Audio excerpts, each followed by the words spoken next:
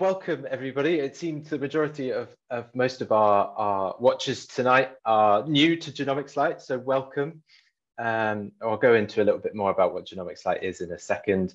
Um, today we are looking at drug targets to validation and we have both Salman and Jack joining us from Open Targets um, and we'll hear a little bit about what Open Targets is in a second.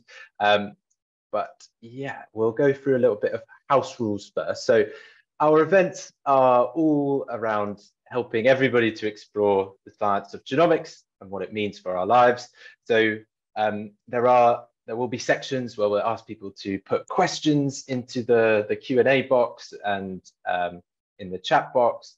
Um, we just ask that everybody participate in a, in a spirit of curiosity and sharing. And there might be different views in the room, um, identities and experiences. So we just ask that everybody um, sort of respect all of those different perspectives. Um, and this platform will be moderated by myself this evening, just um, so it's all inclusive for, for everyone. Um, so if you're new to Genomics Lite and you haven't, haven't been with us before, um, maybe you're new to Zoom webinar, uh, there are a few little buttons that you might see at the bottom of your screen. So you won't be able, you should only be able to see myself, uh, Jack and Salman on the screen and these presentation slides. You won't be able to chat with any other participants. You won't be able to use your microphone or your camera, um, but there are three sort of main buttons to interact with us tonight. So please use the chat button if you have any technical issues tonight. I will hopefully be able to try and sort these um, for you on my end. Um, uh, so yeah, just put any any like logistical technical questions in the chat button for me. Um, my name is Sam. I don't know if I introduced myself properly, um, but uh, I will be hosting tonight's talk. Uh, in the middle, you've got a closed caption button. So if anybody would like subtitles with the event tonight, please just press that button and you should get a subtitled version of this talk. Um, if it gets in the way of anything that's on the screen, you can actually drag and move that to a place that is convenient for you on the screens that you're using. And then when we get to the Q&A section, or if you have any questions that, that come up when you see any of the things that are being presented to you later on today, please do use the Q&A button. It's best if you throw in any questions that you have at the as you go along, and that way we we get them when when they uh, when they occur. Really, that means you don't have to remember them until the end. Um, so this is where we're based. So if you don't know where we're based, we are all of us on the call today are based on the Wellcome Genome Campus. Uh, it's in South Cambridgeshire in Hinxton.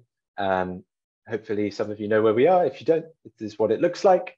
Um, and there are a bunch of different organizations that work on, on this uh, campus. So there's the Wellcome Sanger Institute, there's uh, EMBL EBI, so that stands for the European Molecular Biological Laboratory European Bioinformatics Institute. That would be the only time I say that in full, otherwise known as EBI. Uh, and today we're joined by uh, two um, campus staff that work for a, an organization and a project called Open Targets. Um, so we'll hear a little bit more about, about that today. Um, so yeah, and so welcome to everybody um, who, wherever you are based um, today and joining us. Um, so the way that the structure goes for a Genomics Lite is that we'll have a talk um, from Salman and Jack, and then we'll go through a Q&A, uh, and then we'll be wrapped up by, you know, half five. Um, the session will be recorded and it will be available on, on YouTube and our website. So if anyone has to duck out at any point um, or their connection drops, don't worry, you can catch up on anything uh, at a later point. We will post these on our website. Um, so uh, I think it's first and foremost to introduce Salman to the to the room. So um, Salman, I don't know if you want to just say hello and just introduce yourself and, and be able to just go through a little bit about your your career path to this point so far for the audience. Of course. Thank you very much, Sam. It's oh, we can't actually hear you, Salman, at the moment. Um, oh, there you go. That that's something's coming through now. Check, sound check. Yeah, there you go. We've got you. Fantastic.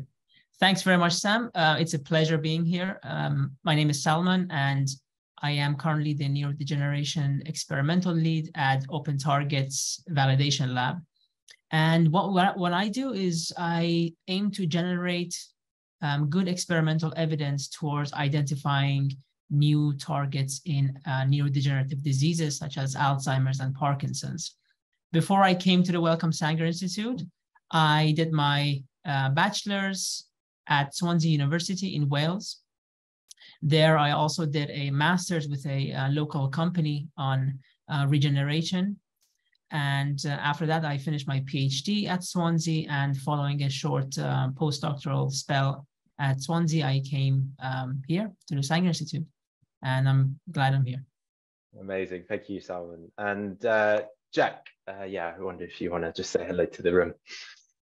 Uh, yeah, so I, am Jack. Um, my background was in uh, mathematics, and then I followed that up with a master's in computational biology. Um, the timeline looks a bit funny, but I was essentially finishing my PhD when I started working at Open Targets roughly three years ago. Uh, my role is a statistical geneticist is to use publicly available genetics data to provide um, supporting evidence for drug discovery. Uh, and this talk, in this talk, I'll be going more into detail about what those words mean and uh, what exactly it is that I do. Uh, very happy to be here.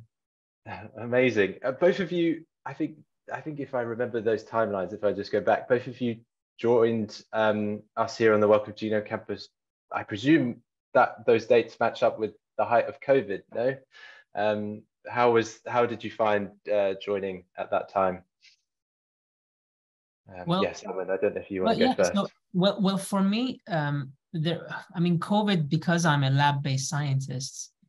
Um, I couldn't really work from home, so um, I was working in the lab during the peak of COVID, um, with permission, of course um, and um, so, and during uh, some lockdowns, we simply had to work in the lab.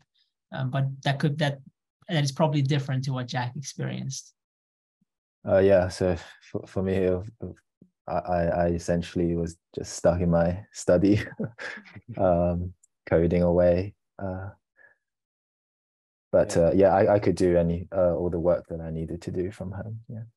How did you find, uh, Jack? You were saying when you joined, you were doing your PhD. How did you find balancing starting a new sort of role and just sort of finishing up the, I presume, probably the most uh, crucial part of the PhD at the same time? How was that? Oh yeah, it was uh, it was really rough. Um, I, if anyone else is thinking of doing a PhD and starting a job at the same time, um, I would recommend you you get your thesis to essentially a final draft stage. For me, it was uh, it was nowhere near that. Um, I was maybe one chapter in when I started the job. So it was work by day, uh, thesis by night. Um, it was a really rough uh, first year, I have to say. But, uh, I'm glad that's all finished now. Yeah, well, congratulations that, that that that you managed to do that.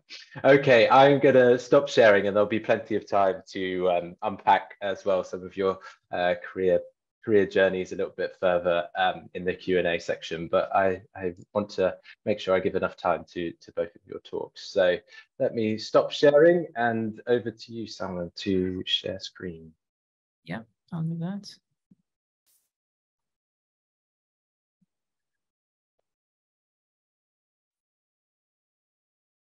Can I confirm that it's the right view, Sam? Is it good? Perfect.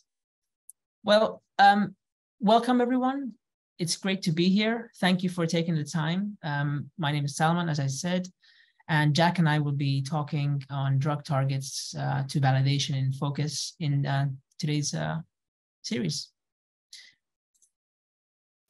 So let's start by asking a very uh, basic question. Um, what is a drug? And uh, Sam, if you could put, put up the poll now. Um, is it a magical potion brewed by wizards for instant happiness? Is it a microscopic DJ spinning beats for your body's dance party? Is it a secret handshake between your cells, unlocking the doors to wellness?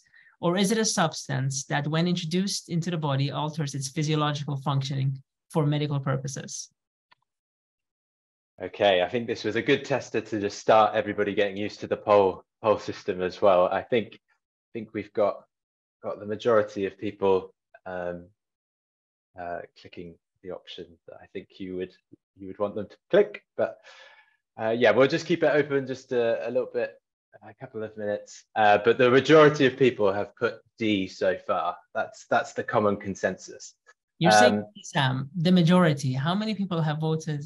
So we've got 97%. We've got 3%, which is uh, the first one, which is A. But um, that might just be because uh, you you create these questions so well, Sam. So uh, it seems a shame that nobody would pick the other one. So um, okay, I will end the poll and I'll just quickly share the results so everybody can see. So uh, yeah, the, the most common consensus is the substance that when introduced into the body alters its physiological functioning for medical. Perfect. To the one to the one person who selected A, a magical potion, I may agree with you on that because technically a potion could be a type of drug as well. So um, well played. So yes, um, uh, drugs are chemicals or biological compounds that are administered to the body to alter its physiological function. And when drugs interact, when they are introduced into the body, what they do is they modify the activity of their targets. Now, either by uh, stimulating them or blocking their activity, which is often uh, which often results in a therapeutic effect. For example, um, we've all experienced it when we take aspirin, for example, for pain relief.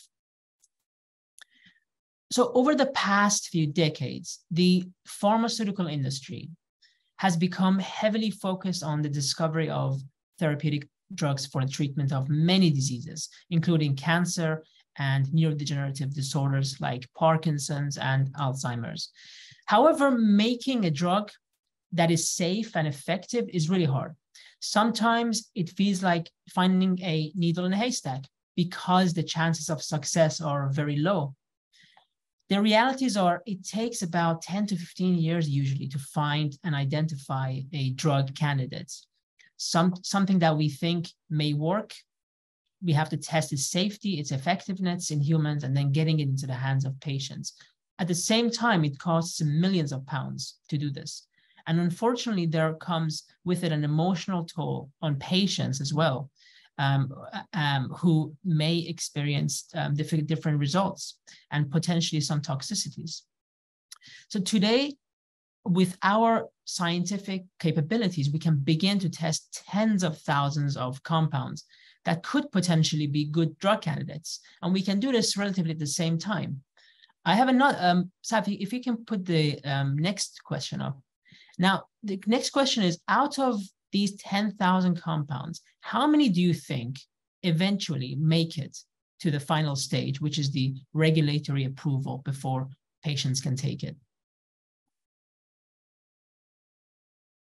Okay, so the poll is up for everybody to vote. And again, likewise, like the, the first one, we'll just give everybody a couple couple of minutes just to make sure everybody can has a chance to, to vote.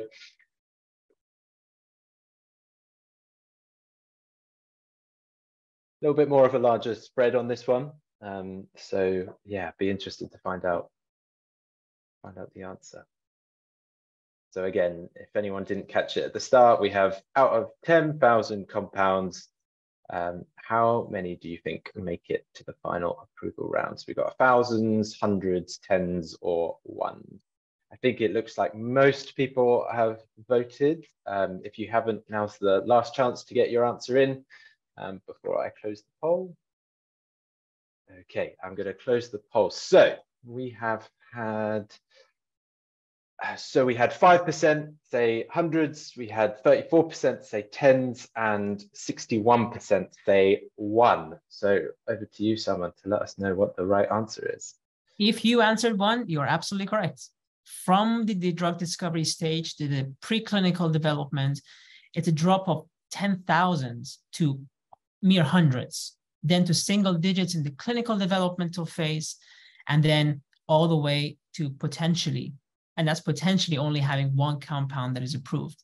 So clearly we can see that the chances of finding successful candidates are pretty low. And in order to better help patients, we therefore need good biological drug discovery and target selection programs. And therefore, our mission is to make sure that the best drug candidates with the highest chances of success are taken into the preclinical development. And this is where we come in. At Open Targets, this is built, um, Open Targets is built as a public-private partnership to transform the drug discovery uh, um, programs through systematic identification and prioritization of targets at vast scales. What we do is we generate data from our genetics and functional genomics platforms, and as well as using publicly available data to build evidence towards linking a target to a disease. Overall, this serves as a foundational concept guiding the drug discovery process. And now Jack and I will now uh, highlight some of the key concepts in both genetics and functional genomics. Jack? Yeah, so I, will be talking about open target genetics, where we utilize publicly available genetics data to uh, increase um, the success rate of drug trials. Uh, next slide, please, Salman. Uh, and why we do that is because it's well documented in literature that uh, having genetic evidence increases the chances of success for your drug. Uh, twice as likely if it's supported by genetic evidence and retrospectively looking at things, uh, two thirds of new FDA approved drugs were actually supported by existing human genetics evidence. And so now I'm going to kind of go through this sentence and break down what each part of it means. So I'll start by introducing what is genetics. Um, next slide, please, Salman. Uh, so the central dogma of biology is that we have a DNA sequence, uh, a genome within every single copy of our cells. And this DNA genome, you can think of it as a dictionary or a recipe book for making you you. And how this works is that uh, every moment that you're, you're living, um, your cell is considering the environment it finds itself in. It looks through this DNA dictionary recipe book and asks, what do I need to do right now? Um, and the DNA, and suppose that you can see a bunch of dysfunctional cells in the region and they need to die. while your cell will look flip through the recipe book for proteins related to cell death and transcribe that DNA into RNA, which becomes proteins that have uh, downstream functions in maintaining the cell. Um, another example would be if there's too much waste product being produced by the nearby cells, your cell would flip through the uh, DNA recipe book. Let's make some proteins that clears away these waste products. And uh, so that's what um, you can think of your DNA uh, and genetics as do, doing. and this this recipe book is about three billion letters long, so it's quite it's quite big. And in terms of the proteins that it can make, um, there's about 20,000 of them that's being well studied with well-known functions. Um, so, uh, so DNA, so genes are DNA regions that can become proteins downstream. Uh, I hope that is clear. Okay, so next slide, please, Salman. Um, so this recipe book of ours is mostly consistent between individuals. And on average, we're 99.9% identical, uh, genetically speaking. Um, if you look at the figure in the bottom, this means that actually, in terms of genetic diversity, we we are actually more similar to each other than the peas that you would find in the same pod. So um, that's quite uh, an interesting uh, stat for you, uh, a bit wholesome too. Um, so knowing that 99.9% of our recipe books are identical, uh, the remaining 0.1% um, is what we call genetic variation and there's many different types of that. But for this talk, I will just be focused on a single nucleotide polymorphism, which is essentially where one letter in your recipe book differs um, between you and me. So on the right here, um, an example of that would be the a cat tag uh, has changed into a cat tac. So the G has changed to a C. Uh, so knowing now that there's 0.1% of these um, SNPs that exist in your genome, uh, how many um, exactly would you expect to see between two unrelated individuals? And uh, that's one of the poll questions with some options. So this will require you to remember how many uh, how okay, many letters yeah. there were in the recipe book from the previous slide. Okay, super. So yeah, let's read that question out again. So roughly how many SNPs, so singly, single nucleotide polymorphism, would you expect to see between two unrelated individuals? And the options that uh, Jack's given you is 3,000, 30,000, 300,000, and 3 million. Again, I'll give you all a couple of minutes uh, just to input your answer.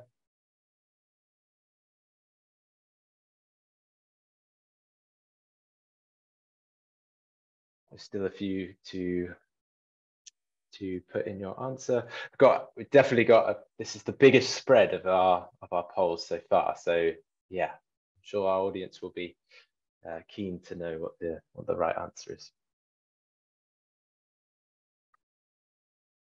Okay, if you haven't um, submitted your answer just yet, this will be your last chance to do so. Um, if not, I will end the poll now. Okay, so I'm sharing the results. So you can see that 25% uh, voted for 3,000, 15% voted for 30,000, and 20% 20% voted for 300,000. Finally, 40% voted for 3 million. Okay, over to you, Jack, to tell us what the right answer is.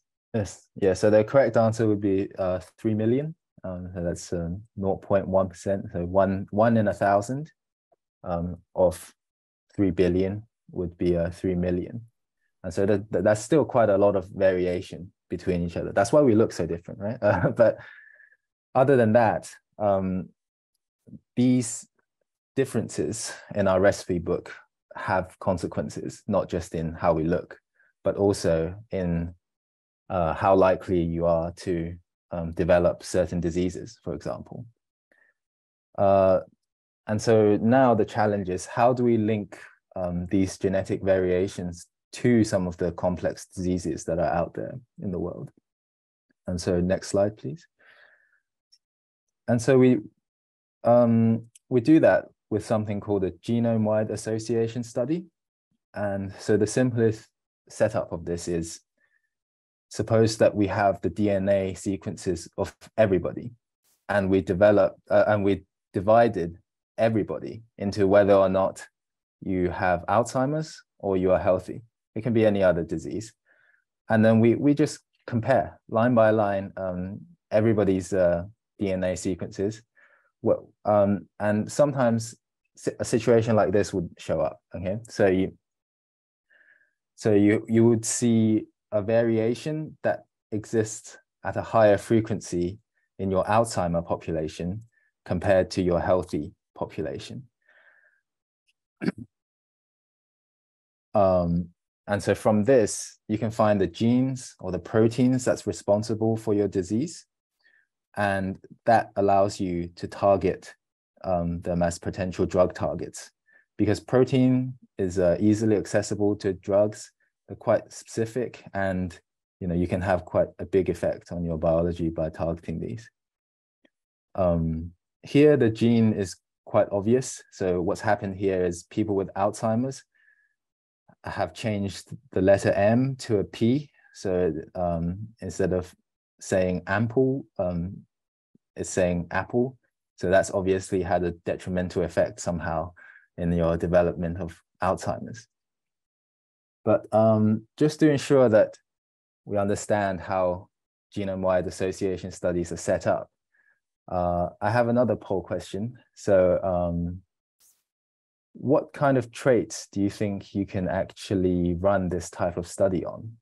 Uh, I don't actually have the option here, but Sam, would you like to read that poll out? Yes. So, which of the following traits can be used in a genome wide association study? So, we've got height, number of cars you drive, personality, whether you smoke or not, or all of the above. Um, so put in the answers that you think um, in this study. So again, just for uh, for sake of um, anyone uh, potentially watching the recording or um, hadn't quite caught that, it's which of the following traits can be used in a genome-wide association study? Height, number of cars you drive, personality, whether you smoke or not, or all of the above. Okay, so we've still still got around about half of you to sort of put a uh, sort of submit your your answer. I'll give you just sort of 30 seconds or so to get in. Okay, anyone anyone who wants to vote but hasn't had the chance to do so, do so now. Um, I'm just about to close the, the poll. Okay, so let's share the results. So we have 54% say height, nobody said numbers of cars you drive, nobody said personality. Uh, we have 14% say whether you smoke or not, and we have 31% say all of the above. So, Jack, what's the what's the right answer? Yeah, so um, height is definitely one of the ones you can run a GWAS on. Um, but the question was, can, can you run a GWAS? And actually, uh, the answer is given that you can divide the population um, based on all of those criteria, you could theoretically run a GWAS on all of the above, uh, although you might get some uh, very nonsensical results for some of the things, such as how many cars you drive or your personality. Uh, so I'm glad nobody picked those because um, those things may not necessarily have much to do with your genetics. Uh, but but it would be interesting to see someone run an analysis of that. Um, the problem with personality is that uh, it's quite difficult to have a consistent definition of your personality to divide you up into groups. But assuming you can do that, then there's nothing stopping you from running a GWAS to find out um, how your genetics influence your personality, essentially. Okay, so that's the poll finished. And um, let me just bring your attention back to what we've summarized here, is that essentially we can find genetic variation that, can, that links um, genetics to your likelihood of developing disease. And sometimes um, interpreting that information is quite straightforward. In this case, we know that apple and ample are related to Alzheimer's disease. And so someone would take this result downstream to validate this as a target. Okay, next slide, please, Salman. Um, but what happens when the gene or protein responsible is not so clear? So um, there are actually no spaces in the DNA genome. So in this recipe book, instead of having a space, you have um, regions of gibberish, essentially, to act as spaces. And these, these parts of the genome are called non-coding regions because they don't code for genes or proteins. Uh, next slide, please, Salman. And, and actually, uh, 90%, over 90% of um, GWAS-associated variation are found within these non-coding regions of the genome. So, so how do we interpret this? Um, you don't know which gene or protein to target using this because well, essentially, if you're reading a recipe book, there's there's a variation in how long a space is. Um, how how does that tell you which uh, targets to go for? But fortunately, we, we have had some developments so um, to provide supporting evidence. So let's explore some of these data sets. Um, next slide, please, Salman. Uh, so let, let us go back to the uh, GWAS um, setup again. So on the left, we have the um, same thing as before, but now the variation is found in a non-coding region, like a space. Um, and on the right, we have another GWAS, except instead of looking at uh, Alzheimer's, it's looking at um, the expression levels of a particular gene, in this case, Apple. Uh, and to interpret this box plot, you can uh, summarize it as follows. So when you have the letter G in this particular spot, uh, you have a lower level of expression for your Apple gene. And on the right, uh, uh, sorry, and on the bottom, if you have the letter A, where um, the other people have G, you have a higher level of the Apple gene. And then if you go back to the left again, you'll see that having G increases your chance of having Alzheimer's and having A decreases your chance of having Alzheimer's. So we might not know why that is, but co-localization is an analysis which comes in and asks, are these association signals essentially the same? And quite clearly here it is. And from that, you can draw the conclusion that the Apple gene is somehow relevant in you developing Alzheimer's. However, I must say that this does not give insight into causality. So you don't know if you have lower levels of Apple gene because you have Alzheimer's or if it's the other way around. So this can only be treated as a form of supporting evidence for taking the Apple gene to, um, on further in the drug development process. Okay, next slide, please, Salman. Uh, some other um, epigenetic evidence for decoding this non-coding association uh, is something called epigenetic modifications. So epi uh, in Greek means to, to be on top of. So it's on top of your genetics. These modifications don't change the underlying recipe book themselves, but um, but they can affect uh, the the expression of genes and proteins um, by means of chemical modifications. So you can think of these as annotations on your recipe book. Um, the entire premises of this is that your DNA genome is very, very long. Uh, because it's 3 billion letters long, uh, although each individual nucleotide is very, very small, uh, you need a microscope to see it. But if you link them all together from start to finish, you would actually have a line that's two meters long. Um, so to fit that two meter of uh, DNA into a single tiny cell, um, your DNA has to be wound up round and round and round uh, around a spool-shaped protein called a histone. And these histones can then be chemically modified uh, to affect the expression levels of the gene to either increase it um, or decrease it uh, by silencing it. So it will be similar to someone having a highlighter and highlighting these regions um, in a way that kind of makes it more apparent that, uh, that this word is important here. Or um, in terms of silencing a gene, it would be similar to underlying the text on the right. So uh, kind of saying that although this DNA sequence is here, uh, we don't actually need it in this cell, in this situation currently at this time. Um, next slide, please, Salman. And so sticking with this analogy of, uh, uh, sorry, st sticking with this consequence that DNA is wound up around the spool, uh, what can happen is seemingly uh, distal regions in linear space uh, can actually become closer together to each other in 3D space. So think of a piece of paper being crumpled up. You might have text that goes from left to right, left to right, left to right, left to right. But once you've crumpled that piece of paper up, you could end up with um, actually a new sentence altogether somewhere along the edge of that piece of paper. Uh, and so that, that's another um, type of evidence that we can use. So does my non-coding uh, variant um, interact with a gene uh, in 3D space because of where they are um, in terms of being wound up inside the cell. Um, yeah.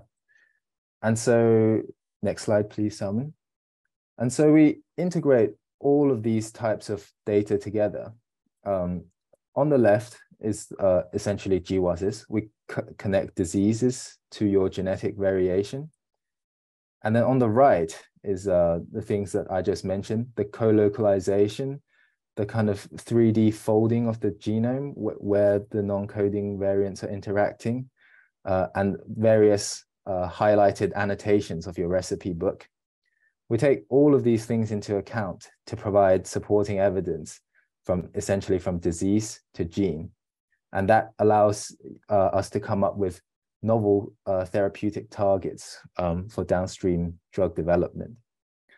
Uh, last last slide, please, uh, Oh, sorry, next. Yeah. And so we feed, and, and so that goes into a machine learning pipeline that we have implemented uh, at Open Targets to kind of systematically go through every single publicly available uh, GWAS result, which uh, currently sits at around um, 57,000 studies.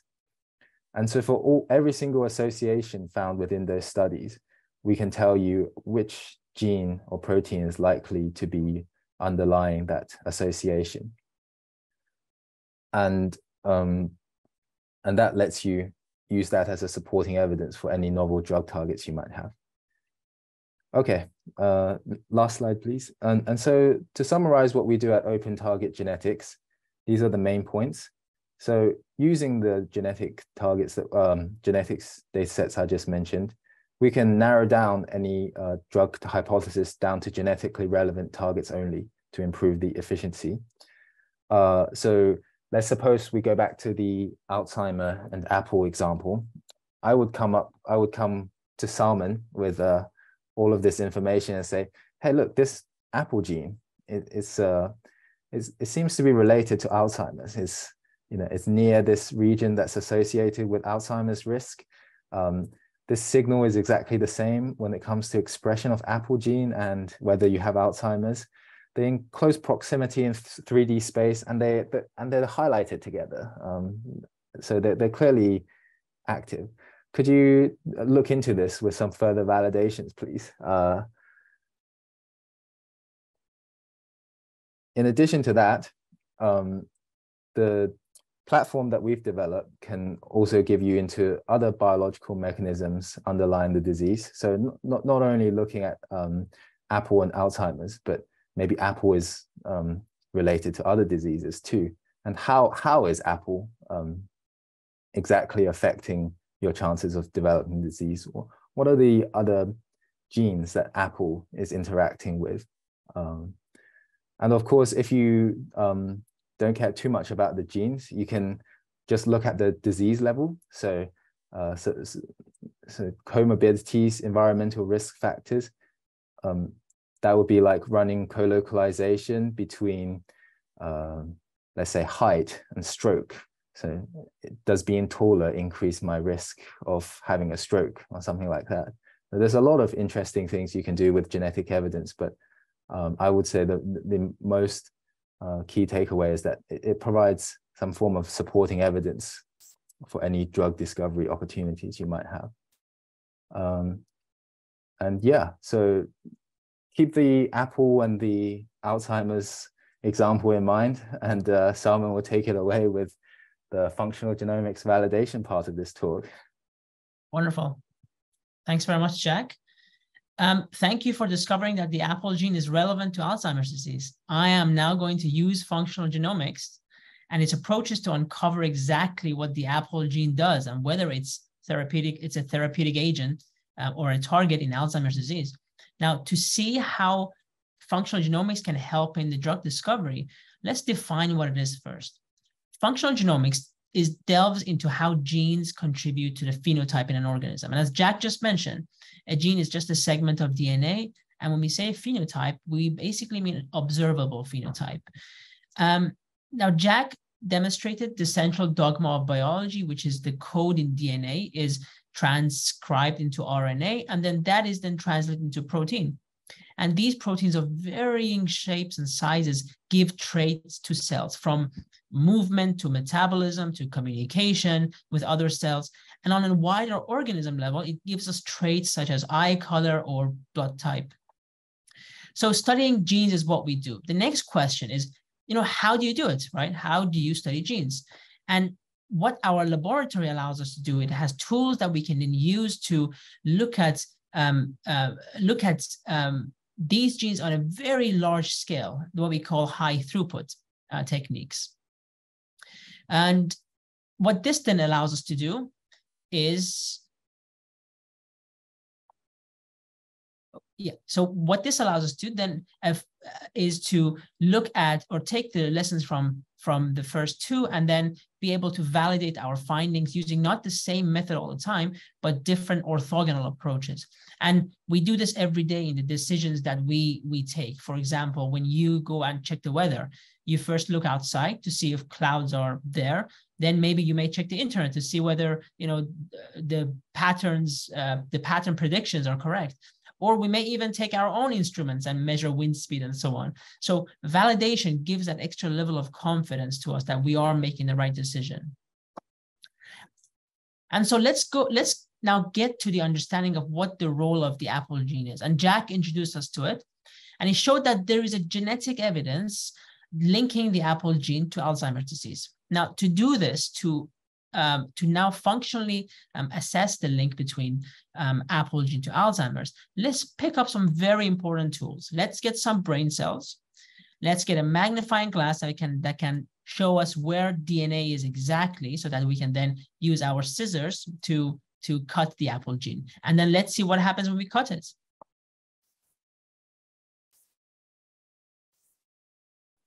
So before I uh, before I go into how we cut the Apple gene, we get some brain cells, but we can't go into people's brains and get those cells, right? So how do we do it? How do we get enough cells to work with in the lab? What we have to do is we have to make the lab. We have to make the cells. And how we do it is that we change the programming of human skin cells, for example, and then turn it into stem cells. Now, this figure you see on the left top right-hand side is a metaphorical landscape that illustrates the process of cellular differentiation during development. So as we develop, we gain different phenotypes and that leads to different cell types. The landscape resembles a series of valleys and hills, as you can see. And we gain different phenotypes and that leads to different cell types. The landscape so the cells here are, are uh, depicted as balls rolling down this landscape, moving towards an alley. And at the top of this landscape, you can see this green ball here. There's a hill representing a pluripotent state where the cells have the potential to become any cell type. These are the stem cells that have been reprogrammed from the skin cell. You can see from here all the way to the stem cell state. And then they're then pushed towards different uh, cell types. Now, through this method, we've been able to generate uh, cells of the brain. We trained cortical neurons. These are the cells from your forebrain. And then we've also generated the midbrain um, neurons. These are cells in your midbrain region called the dopaminergic neurons. Now, the takeaway message is that here is human cells can be reprogrammed into pluripotent stem cell state. They can then be programmed again into vulnerable cell types that are linked with various diseases. And so the second tool that we talked about is taking a scissors and then cutting DNA. And how we do that is using CRISPR-Cas9 technology. You may have heard of it. Um, CRISPR-Cas9 has really revolutionized and allowed scientists to edit the genetic code of living organisms. That's the DNA. Now, scientists, how we do it is we design a synthetic piece of RNA, you can see here, and that matches the target sequence on the DNA. Then the Cas9 protein here so, um, is guided by this guide RNA to find the exact location of the DNA where the edits or the cut needs to happen. And so Cas9, we can say here, acts like a molecular scissors, cutting the DNA at a specific location. And once the DNA is cut, the cell's natural repair mechanisms come into play. And in doing so, it introduces a small change in that sequence. And because of that small change, what we call a mutation, the gene is no longer on. It's no longer active. The light bulb has been switched off. And what happens is that eventually this also means that the protein is not produced or the observable phenotype is not observed anymore because it doesn't exist. And so CRISPR cuts human DNA, it disrupts the gene, therefore the protein, and then the, this allows us to find experimental evidence between turning a gene on and off to the phenotypes um, that we see in healthy and diseased cells. So I'm now going to, um, I'm not going to give an idea of how the, you know, what is, how the marriage between stem cells and CRISPR technology works in the context of functional genomics. The aim here, remember, is to identify what effects do genes have on phenotypes. And these phenotypes, as we discussed, are linked to disease. So in this, in the case of this apple gene, you can see that in these, you know, in our very lovely brain cells, they're expressed. You can see the red in them. And we know, so the red you see here, these, this is the observable phenotype. The color red is that phenotype. And therefore, we know that at the genetic level, there must also be an apple gene that is on at the moment because we obviously see the red.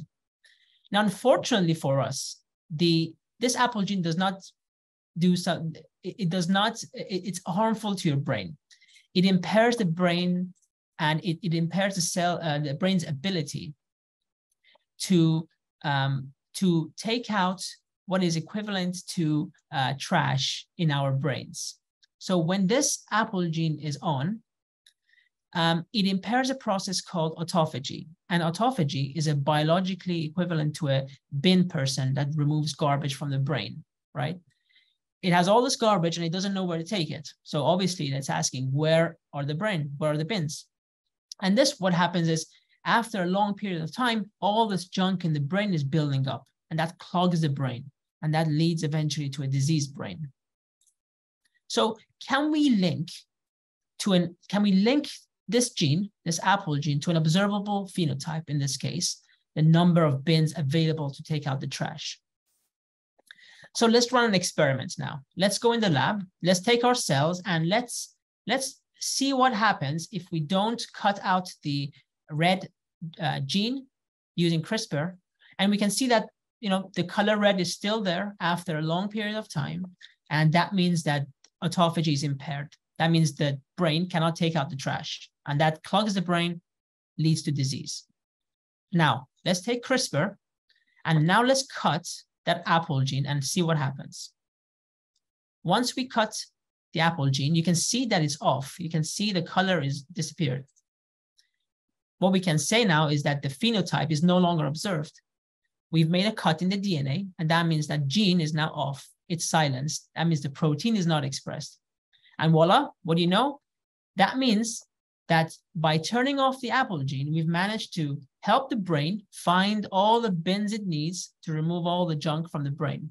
And that removes all the clogs, all the backdated um, proteins that have been broken down, all the organelles that are damaged.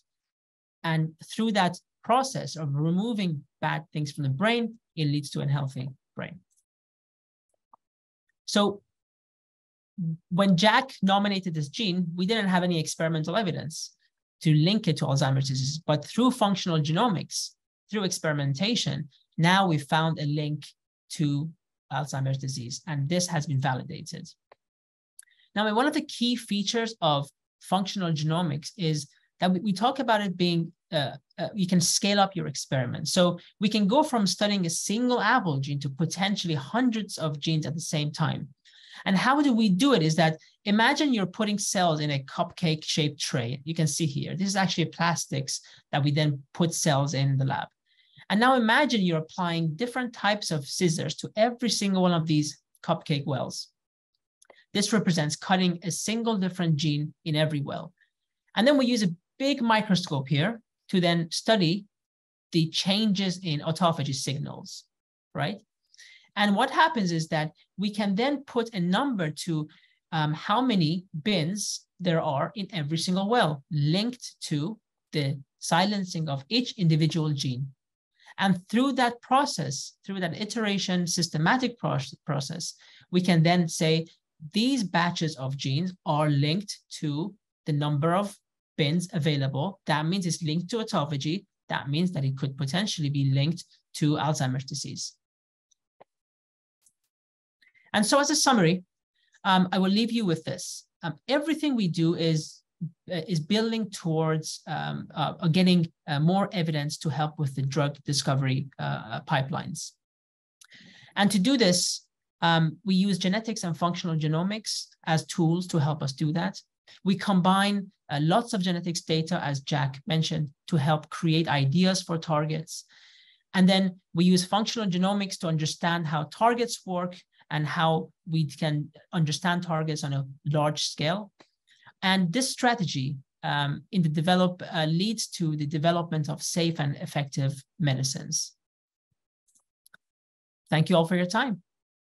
I think we'll be happy to take any questions at the moment. Super. Thank you both for. Sorry, just started speaking and then cough. Um, yeah. So thank you both, Jack and Salman, for that really, really great oversight into open targets. And it's also just worth saying that open targets is, is quite a big sort of initiative and project. So there are also other aspects that we haven't even been able to touch upon today.